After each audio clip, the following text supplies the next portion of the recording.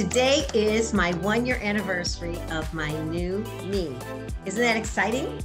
I totally tore my ACL over the course of time. I tried cortisone shots, I tried gel shots, I had my knee scoped twice. I didn't have the stamina, I wasn't able to do everything that I wanted to do in the way that I had been able to do it. I wasn't able to snow ski, I wasn't able to water ski. I retired from volleyball because I couldn't do all these things.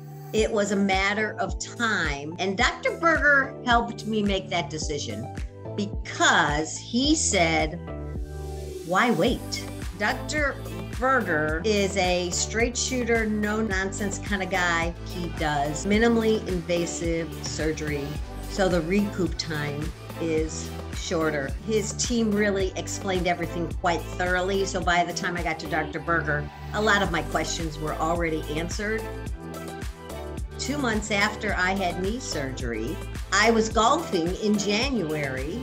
I was able to ski nine days this season, and I don't have the pain, and I don't wear a knee brace, and I'm active and happy.